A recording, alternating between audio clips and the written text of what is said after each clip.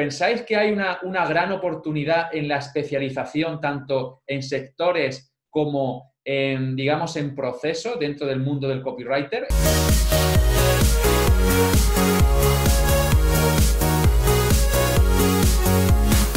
Yo creo que sí. El copy todavía está muy, muy inmaduro. Entonces, la especialización en, eh, bueno, pues en lanzamientos, en páginas de venta, la veo todavía más inmadura. Pero sí que es cierto que también está despertando. Y creo que sería muy interesante porque como todos, y bien habéis dicho que somos hombres orquestas, siempre hay una parte que te gusta más que la otra. Escribir sobre algo que te gusta y en, en un sector donde es lo que tú mejor manejas, es el mejor servicio que puedes ofrecer.